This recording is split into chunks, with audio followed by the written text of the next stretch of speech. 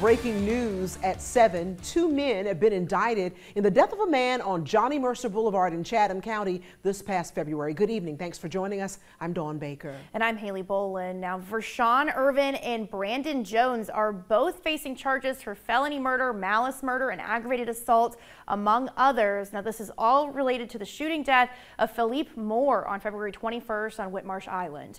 Prosecutors allege this happened during an attempted robbery. Jones also faces faces an additional aggravated assault and first degree cruelty to children charge for shooting a minor the same day.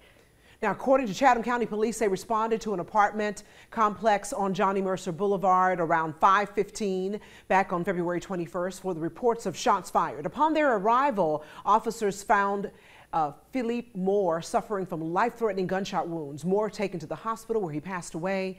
Police arrested Irvin and Jones on March 14th.